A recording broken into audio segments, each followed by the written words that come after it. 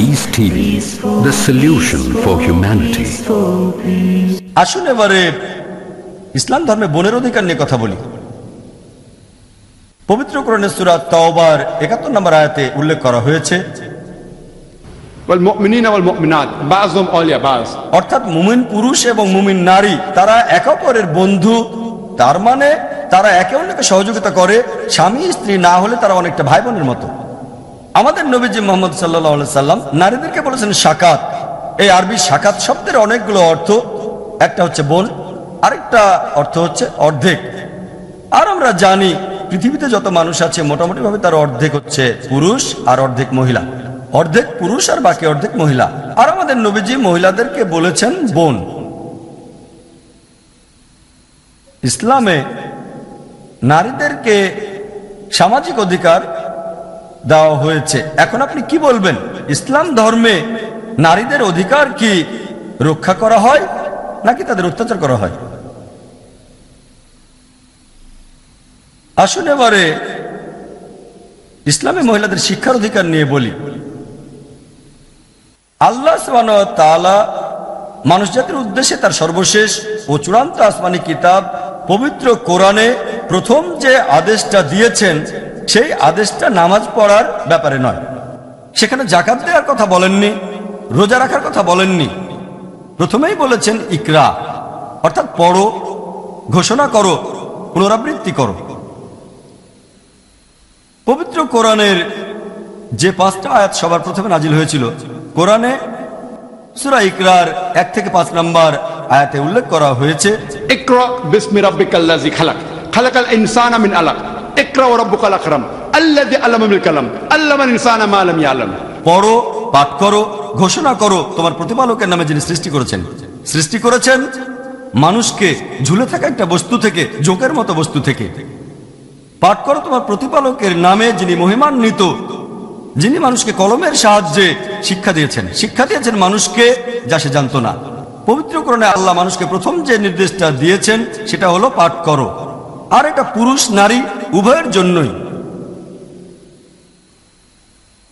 আমাদের নবীজি মোহাম্মদ সাল্লাহাম বলেছেন এই সহিহাদিসটা আছে ইবনে মাজায় দুইশো চব্বিশ নম্বর হাদিস। আমাদের নবীজি বলেছেন মুসলিম। জ্ঞান অর্জন করা প্রত্যেক মুসলিম পুরুষ এবং নারীর জন্য বাধ্যতামূলক। নবীজি বাবা মাকে নির্দেশ দিয়েছেন ছেলে, মেয়ে উভয়কে শিক্ষা দেওয়ার জন্য, বিশেষ করে মেয়েদেরকে শিক্ষা দেওয়ার জন্য। প্রত্যেক স্বামীর দায়িত্ব তাদের স্ত্রীদের শিক্ষিত করে তোলা, বিশেষ করে ধর্মীয় শিক্ষায়।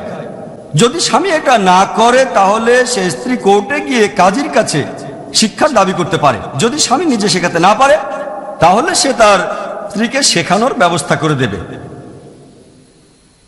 সহি বুখারের একটা হাদিস এটা সহি হাদিস। এক মহিলা নবীজির কাছে আসলো, তারপর বলল, আপনার চারপাশে সব সময় পুরুষরা থাকে, আমাদেরকেও কিছুটা সময় দেন আপনি। নবীজি রাজি হলেন। তারপর থেকে মহিলাদের শিক্ষিত করার জন্য কিছুটা সময় দিলেন তিনি। নবীজি নির্দেশে অনেক সাহাবিও বিশেষ করে মহিলাদের শিক্ষা দিতেন। আপনারা যদি ইসলামের ইতিহাস পড়েন, চোদ্দশো বছর আগে সেই অজ্ঞানতার যুগে ইয়ামুল জাহেলিয়ায় সেই সময়ে এরকম অনেক মহিলা ছিলেন, অনেক মহিলা যারা বিশেষজ্ঞ ছিলেন। এর সবচেয়ে সেরা উদাহরণটা হলো আয়সা বিনতে আবু বাকর রাজি আল্লাহ আনহা, আমাদের নবীজির স্ত্রী। তার খুব বিখ্যাত একজন ছাত্রী, তার নাম হলো আরোয়া রাজাল্লাহ আনহা। তিনি বলেছেন আয়সা রাজাল্লাহ আনহার চেয়ে বড় কোনো বিশেষজ্ঞকে আমি দেখিনি।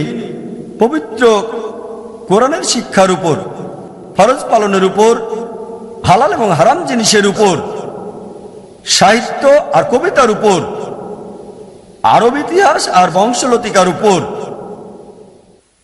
আর আপনারা যদি আয়েশা রাজি আল্লাহার সিরাত পড়েন, তাহলে দেখবেন যে নবীজির ইন্তেকালের পর তিনি অনেক দিন বেঁচে ছিলেন। তিনি অনেক সাহাবিকেও পথ নির্দেশ দিয়েছেন। এছাড়াও তিনি খোলাফাই রাশেদিনদের সবাইকে গাইড করেছেন। অনেক সময় বিদেশি লোকজন নবীজির কাছে এসে ঔষধপত্র ইত্যাদি নিয়ে আলোচনা করত। আয়সারাদ আনহার স্মরণ শক্তি খুবই ভালো ছিল। তিনি সেগুলো মনে রাখতেন। তিনি ম্যাথসের উপরও একজন এক্সপার্ট ছিলেন। আর নবীজির ইন্তেকালের পর অনেক সাহাবি তার কাছে আসতেন, বিশেষ করে উত্তরাধিকারের ব্যাপারে, সম্পত্তি ভাগের ব্যাপার নিয়ে। কারণ তিনি অঙ্কে খুব ভালো ছিলেন। ইতিহাস পড়লে দেখবেন, তিনি অনেক বিশেষজ্ঞকে শিক্ষা দিয়েছেন। তিনি অষ্টআশি জন বিশেষজ্ঞকে শিক্ষা দিয়েছিলেন। তাহলে বলা যায়, তিনি বিশেষজ্ঞদের বিশেষজ্ঞ। আর শুধুমাত্র তার তদারকিতে দুই হাজার দুইশো দশটা হাদিস লিপিবদ্ধ করা হয়েছে। আয়সারাদি আল্লাহ নিজেই এগুলোর বর্ণনা দিয়েছেন। এরপর বলা যায়, উম্মে সালমার কথা রাদি আল্লাহ আনহা, তিনিও নবীজির স্ত্রী ছিলেন।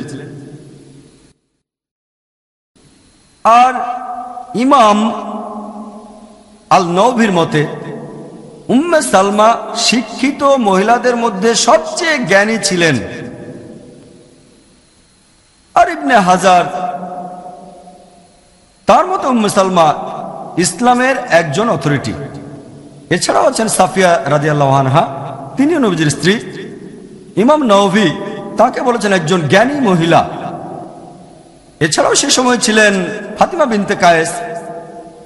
তিনি নবীজির একজন সাহাবিয়া ছিলেন, তিনি অনেক কিছু জানতেন। তিনি এতটাই জ্ঞানী ছিলেন যে একবার ফিকা নিয়ে আলোচনা হচ্ছিল, তখন একটা মত দিলেন, তখন হজরত আয়সার আল্লাহ আনহা আর হজরত ওমর রাদি আল্লাহ আনহ তারা আপত্তি জানালেন, কিন্তু ভুল প্রমাণ করতে পারেননি তারা।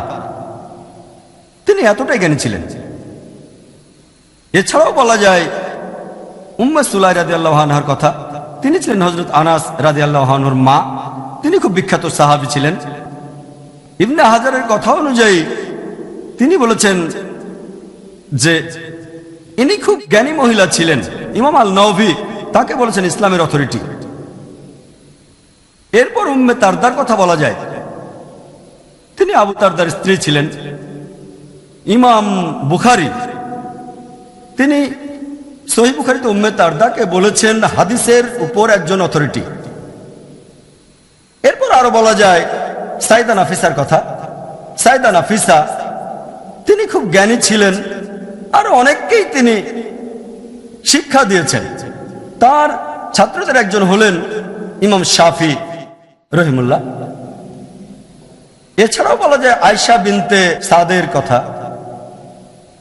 ইনিও জ্ঞানী ছিলেন। তিনি ছিলেন একজন বিশেষজ্ঞ। আর তার ছাত্রদের মধ্যে একজন হলেন ইমাম মালিক রহিমুল্লাহ, চিন্তা করেন, সেই অজ্ঞতার যুগে ইয়ামুল জাহেলিয়ায় অনেক মহিলা ছিলেন যারা বিশেষজ্ঞ। সেই আমলে মানুষ পড়াশোনাই করতো না আর চিন্তা করেন সেই আমলে এমন অনেক মহিলা বিশেষজ্ঞ ছিলেন। আসুন এবারে ইসলামে নারীর আইনগত অধিকার নিয়ে আলোচনা করি। আইনের চোখে পুরুষ, নারী, উভয় সমান। যদি তারা কোনো অন্যায় করে থাকে, দুজনেই সমান শাস্তি পাবে। যেমন ধরেন, একজন পুরুষ কোনো নারীকে হত্যা করলে সেই পুরুষকে মৃত্যুদণ্ড দেওয়া হবে। একজন নারী কোনো পুরুষকে হত্যা করলে তাকে মৃত্যুদণ্ড দেওয়া হবে কিসাসের আইন অনুযায়ী। পবিত্র করণের সুরা বাকার একশো আটাত্তর একশো উনআশি নম্বর আয়াত এটা আছে। এছাড়াও, যদি শরীরের কোনো অঙ্গ ক্ষতিগ্রস্ত হয়, হতে পারে সেটা তার চোখ কান অথবা হাত, হতে পারে সে পুরুষ অথবা নারী, ছেলে অথবা মেয়ে, দুজনের ক্ষেত্রে একই শাস্তি। আবার ধরেন কেউ কাউকে হত্যা করল, আর নিহতের পরিবার যদি এর বদলে ক্ষতিপূরণের টাকা নিতে রাজি হয়, তখন এটা ব্যাপার না যে কে ক্ষমা করছে। পুরুষও হতে পারে, নারীও হতে পারে, উভয়ই সমান এবং উভয়েরই ক্ষমা করার অধিকার আছে। ইসলাম ধর্মে পুরুষ বা নারী অন্যায় করলে তাদের শাস্তি একই রকম হবে। পবিত্র করণে সুরা মাইদার আটত্রিশ নম্বর আয়াতে উল্লেখ করা হয়েছে, পুরুষ চোর এবং নারী চোর, তাদের হাত কেটে ফেলো। এটাই আল্লাহ তালার পক্ষ হতে আদর্শ দণ্ড। যদি কেউ চুরি করে, হতে পারে সে পুরুষ অথবা মহিলা, দুজনের শাস্তি একই, হাত কেটে ফেলতে হবে।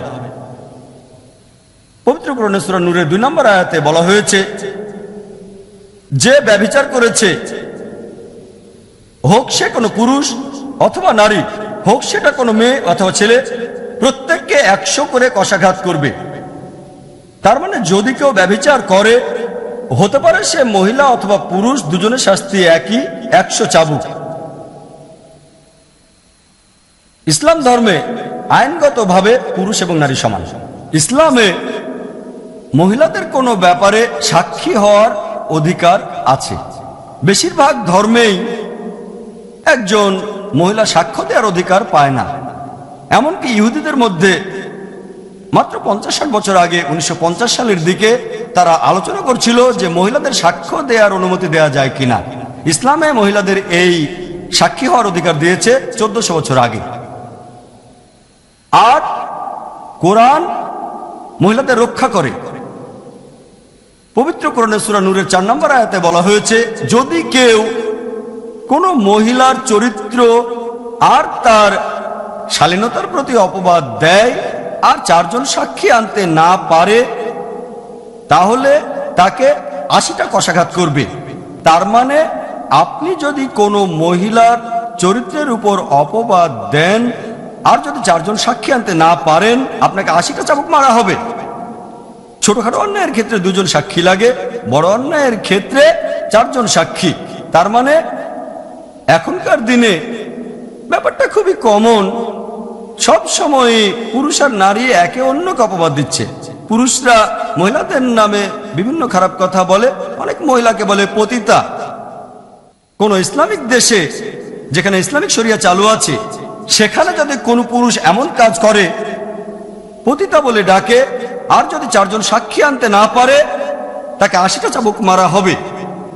যদি চারজন সাক্ষী আসে আর তার মধ্যে একজন মিথ্যা প্রমাণিত হয়, তাহলে প্রত্যেককে আশি চাবুক মারা হবে। ইসলাম এভাবেই নারীদের রক্ষা করে থাকে। আমি পৃথিবীর কোনো আইনে দেখিনি। হোক সেটা আমেরিকায় বা ইংল্যান্ডে বা কানাডায় বা ইন্ডিয়াতেও কোনো মহিলাকে অপবাদ দেওয়া হলো। যদি সেই মহিলা আদালতে গিয়ে অভিযোগ করে, এই লোক আমাকে অপবাদ দিচ্ছে। আইন কি করতে পারে? আমি এমন কেসের কথা শুনিনি যেখানে অপবাদ দেওয়ার অপরাধে একজন পুরুষকে শাস্তি দেওয়া হয়েছে। কোনো শাস্তি নেই, কিন্তু ইসলামিক আইনে আশিটা চাবুক। এই আইনটা যদি পৃথিবীর সব জায়গায় প্রয়োগ করা হয়, তাহলে পুরুষরা কোনো মহিলাকে অপবাদ দেওয়ার আগে হাজারবার চিন্তা করবে। এভাবেই ইসলাম নারীর অধিকারকে রক্ষা করে। পশ্চিমা দেশগুলোতে দেখবেন, কোনো মহিলা বিয়ের পরে তার স্বামীর পদবি গ্রহণ করে থাকে।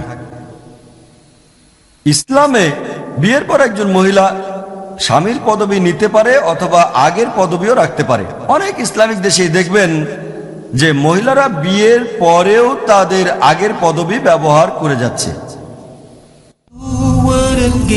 Who wouldn't give up her life for the life of her child? Who was the first prophet? Was a prophet the first one to read and write? Did God speak to a prophet? A prophet in a prison. A prophet who commanded the birds, insects, and animals? Want to know more? Join us for Stories of the Prophet. নবীদের কাহিনী প্রতি রবিবার সন্ধ্যা সাতটায় up পুনঃ সম্প্রচার। সকাল এগারোটায় বাংলাদেশে পিস টিভি বাংলায়। সৃষ্টিকর্তাকে জানার জন্য। ইসলামের সমূহ মেনে চলার গুরুত্ব কি? ভালো মন্দের মাঝে তফাৎ করার জন্য। চেতনা দিয়েছেন আল্লাহর শরীয়তের বাইরে যাওয়ার সুযোগও তার দিয়েছেন। মানবতাকে রক্ষা করার জন্য। আল্লাহ সুবহানাহু ওয়া তাআলা তিনি ইসলাম দিয়েছেন। এটা অনুসরণের ভিতরেই মানুষের কল্যাণ নিহিত রয়েছে। ইসলামী একমাত্র রাস্তা। প্রত্যেক ব্যক্তি জন্মগ্রহণ করে ইসলামের উপরে। মুজফর বিন মহসিন ডক্টর আব্দুল্লাহ জাহাঙ্গীর শেখ শাহিদুল্লাহ খান মাদানী আহমদুল্লাহ বিন মোহাম্মদ তেলবর হুসেন হারুন হুসেনের উপস্থাপনায়। ফেতরতের দাবি মানুষ ধর্ম মানতে বাধ্য। আল্লাহ সুবহানাহু কাছ থেকে ইসলাম আমাদের কাছে এসেছে। ধর্মের মধ্যে ইসলামে আল্লাহ মনোনীত দিন। প্রতিটি বিধান আল্লাহ তারা যেটা দিয়েছেন এটা মানুষের কল্যাণে। ইসলামের অনন্য গুণাবলী জানতে দেখুন আমাদের অনুষ্ঠান ইসলাম মানার দুনিয়াবি ফায়দা। পরবর্তী অনুষ্ঠান পিস টিভি বাংলায়। of her life for the life of her child আসুন এবারে ইসলামে নারীর রাজনৈতিক অধিকার নিয়ে আলোচনা করি। আল্লাহ পবিত্র করণে বলেছেন সুরা তাওবার একাত্তর নম্বর আয়াতে উল্লেখ করা হয়েছে মুমিন পুরুষ এবং মুমিন নারী একে অপরের বন্ধু সাহায্যকারী। শুধু সামাজিকভাবে না রাজনৈতিকভাবেও। আল্লাহ পবিত্রকরণে বলেছেন, সুরা মুমতাহিনার বারো নম্বর আয়াতে উল্লেখ করা হয়েছে, হে নবী, যখন মুমিন নারীরা তোমার কাছে এসে বায়াত করে, তাদের বায়াত গ্রহণ করো। এটা এখনকার ভোটের চেয়ে অনেক বেশি ভালো। ভোটে আমরা কি করি? একটা দেশের প্রধানকে নির্বাচন করি। তবে এখানে আমাদের নবীজি, পাশাপাশি এই মহিলারাও সবাই মানছে যে নবীজি দেশের প্রধান, সবাই এটাও মানছে যে তিনি আল্লাহর রাসূল। আল্লাহ প্রেরিত পুরুষ, এটা বর্তমানের এই ভোট দেওয়ার সিস্টেমের চেয়ে অনেক বেশি ভালো। ইসলাম ধর্মে একজন মহিলা আইন প্রণয়নেও অংশ নিতে পারে। একবার একটা ঘটনা যে হজরত ওমর রাজি আল্লাহ আনহ, ইসলামের দ্বিতীয় খলিফা, তিনি সাহাবিগণের সঙ্গে আলোচনা করছিলেন যে দেনমোহরের কোনো সর্বোচ্চ সীমা ঠিক করে দেওয়া যায় কিনা। মেয়েরা অনেক মোহর দাবি করে থাকে একটা সীমা বেঁধে দেওয়া যায় কিনা? তখন মসজিদের একেবারে পেছনের কাতারের এক মহিলা প্রতিবাদ জানিয়ে বলল, এই মহিলার নামটা উল্লেখ করা হয়নি। হয়তো খুবই সাধারণ একজন মহিলা। কোনো জ্ঞানীগুণী মহিলা না। একজন সাধারণ মহিলা মসজিদের পেছনের কাতার থেকে প্রতিবাদ জানালো। সে বলল, যখন আল্লাহ তালা কোনো সর্বোচ্চ সীমা বেঁধে দেননি, কারণ পবিত্র করণে সুরানিসার বিশ নম্বর আয়াতে উল্লেখ করা হয়েছে, স্ত্রীকে অগাধ অর্থ দেওয়া যেতে পারে। তাহলে যখন আল্লাহ আমাদের স্রষ্টা কোনো সীমা বেঁধে দেননি, তখন ওমর কেন রাজি আল্লাহ সীমা বেঁধে দেবেন? আর ইসলামের দ্বিতীয় খলিফা হজরত ওমর রাজি আল্লাহ বললেন, আমি ভুল বলেছি, মহিলার কথাই ঠিক। তার মানে এই মহিলা সংবিধান লঙ্ঘন করার অভিযোগ এনেছিল। এই হাদিসটাকে সহি হাদিস বলা হয়। মহিলারা সহি বুখারিতে কথা আছে। মহিলারা যুদ্ধের ময়দানেও গিয়েছে। তারা আহত সৈনিকদের পানি দিয়েছে, তাদের চিকিৎসা করেছে, সেবা করেছে। সহি বুখারিতে একটা ঘটনার কথা বলা হয়েছে। একজন মহিলা, তার নাম নাফিসা, উহুদের যুদ্ধের সময় এই মহিলা অন্যান্য সাহাবিগণের পাশাপাশি নবীজিকে রক্ষা করেছিল। এজন্য সে মারাত্মক আহত হয়েছিল। নবীজি এ সময় তার সাহসের প্রশংসা করেছিলেন। এই হলো সংক্ষেপে ইসলামে নারীর রাজনৈতিক অধিকার। আমি আগেও আপনাদের বলেছি, ইসলাম ধর্মে পুরুষ এবং নারী সমান। তবে সমান মানে এই না যে তারা একই রকম। মেকআপের উপর ভিত্তি করে ব্যাকগ্রাউন্ডের উপর ভিত্তি করে পুরুষ আর নারীর পার্থক্য আছে। শারীরিকভাবে, মানসিকভাবে, প্রাকৃতিকভাবে এরা আলাদা। এই মেকআপের উপর ভিত্তি করে আল্লাহ আমাদের জন্য নিয়ম ঠিক করে দিয়েছেন। আর পবিত্রকরণ বলছে সুরানিসার বত্রিশ নম্বর আয়াতে উল্লেখ করা হয়েছে, আমাদের কারি ডক্টর ওসমান শুরুতেই আয়াতটা তেলাওয়াত করেছিলেন। তো সুরা নিসার বত্রিশ নম্বর আয়াতে বলা হয়েছে যে, তোমরা লালসা করো না। এভাবে বলো না যে, এটা ঠিক আর ওটা ভুল। তোমরা জানো না, আল্লাহ জানেন তোমাদের জন্য কোনটা ভালো। যেটাকে ভাবছ ভালো, সেটা ভালো নাও হতে পারে। যেটাকে ভাবছ খারাপ, হয়তো সেটাই তোমার জন্য ভালো। আপনারা যদি নজিলে কোরআন পড়েন এই আয়াতটা কেন নাজিল হয়েছিল? আয়াতটা নাজিল হয়েছিল কারণ নবীজির স্ত্রীগণ তার কাছে নালিশ করেছিলেন। তারা বলেছিলেন যে, আমরাও কেন জিহাদে যেতে পারব না? আমরা অধিকার চাই। তারপর সম্পত্তি ভাগের ব্যাপারেও আমরা সমান পাবো না কেন? আয়াতটা নাজিল হলো।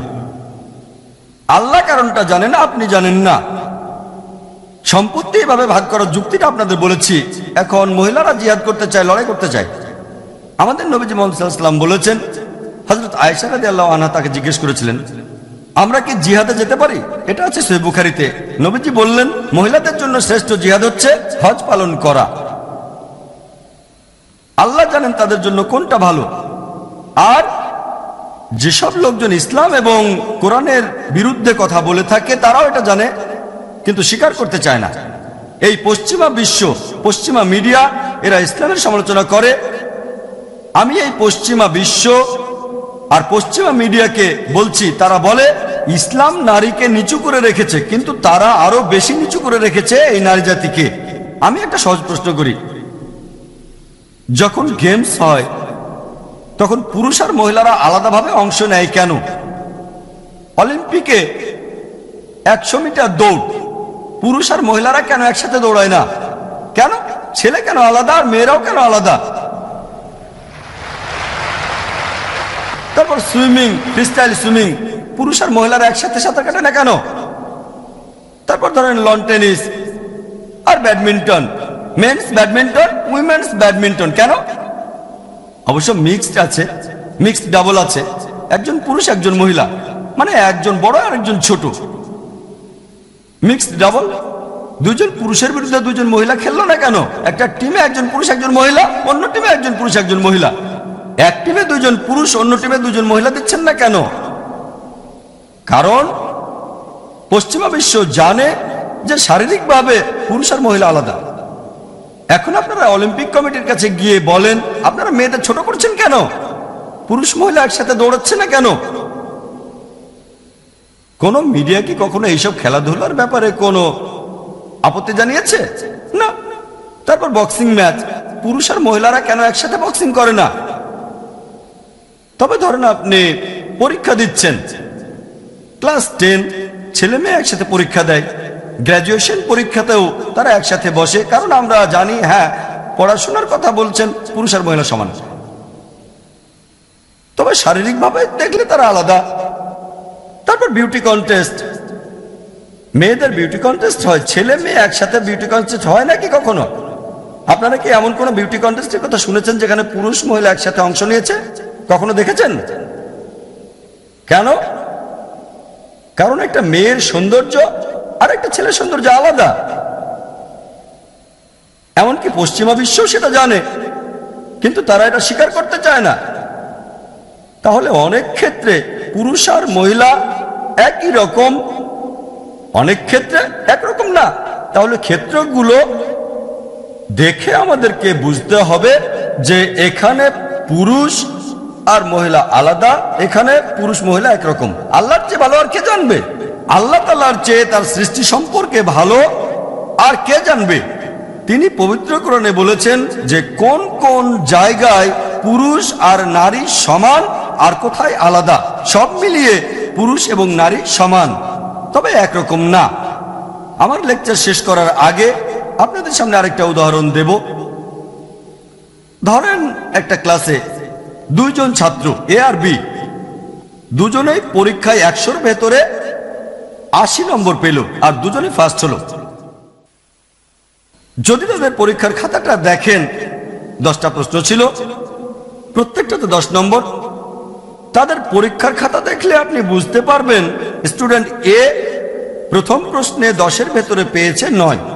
স্টুডেন্ট বি এই প্রশ্নে পেয়েছে দশের ভেতরে সাত। তাহলে এক নম্বর প্রশ্নে স্টুডেন্ট এ স্টুডেন্ট বির চেয়ে এগিয়ে আছে। দুই নম্বর প্রশ্নে স্টুডেন্ট এ পেল সাত নম্বর আর বি পেল নয় নম্বর। তাহলে দুই নম্বর প্রশ্নে স্টুডেন্ট বি এর চেয়ে এগিয়ে আছে। বাকি যে আটটা প্রশ্ন আছে, তিন নম্বর থেকে দশ নম্বর প্রশ্ন পর্যন্ত স্টুডেন্ট এ আর বি দুজনেই দশের মধ্যে আট করে পেল। দুজনেই সমান। যদি সবগুলো নম্বর যোগ করেন, একশোতে আশি সব মিলিয়ে সমান। তবে এক নম্বর প্রশ্নে স্টুডেন্ট এ কিছুটা এগিয়ে আছে, দুই নম্বর প্রশ্নে বি কিছুটা এগিয়ে আছে। বাদ বাকি প্রশ্নগুলোতে দুজনে সমান। একইভাবে ইসলামে আল্লাহ তাআলা জানেন, যেখানে মহিলারা সমান, সেখানে নিয়মটাও সমান। আর যেখানে তারা আলাদা, সেখানে নিয়মটাও আলাদা। কিছু কিছু ক্ষেত্রে পুরুষরা হয়তো কিছুটা এগিয়ে আছে, আবার কিছু ক্ষেত্রে মহিলারাও এগিয়ে আছে। যেমন ধরেন, বাবা মায়ের প্রতি ভালোবাসা আর সহানুভূতি দেখানোর ক্ষেত্রে এই হাদিসটা আছে সহি বুখারিতে, আট নম্বর খণ্ড, বুক অফ আদাব, বুক অফ ম্যানার্স, দুই নম্বর অধ্যায়, পাঁচ হাজার নয়শো একাত্তর নম্বর হাদিস। এক লোক নবীজিকে জিজ্ঞেস করল, কাকে সবচেয়ে বেশি ভালোবাসা আর সহানুভূতি দেখাবো? নবীজি বললেন, তোমার মাকে তোমার মাকে তোমার মাকে, তারপর তোমার বাবাকে। তাহলে এখানে মা তার সন্তানদের কাছ থেকে বাবার চেয়ে তিন গুণ ভালোবাসা আর সহানুভূতি বেশি পাচ্ছেন। এখানে মহিলারা অনেক এগিয়ে আছে। আবার ধরেন,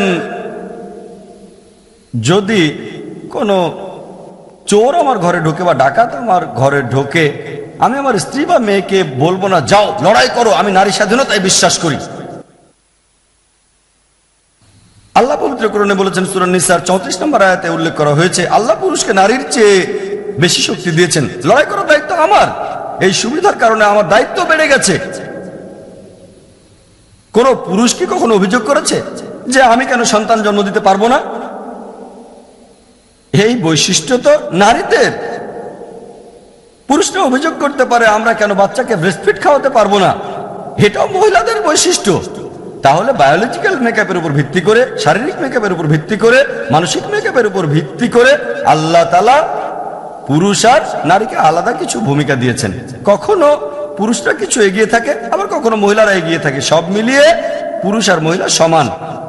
আপনারা যদি পবিত্র কোরআন হাদিসের উপর ভিত্তি করে ইসলাম ধর্মে নারীর অধিকারগুলো দেখেন, তাহলে আপনারাও মানবেন যে ইসলাম ধর্ম নারীর অধিকার খর্ব করে না, কখনোই তাকে ছোট করেনি। ওয়াকির আলহামদুলিল্লাহ রবিল্লা আলমী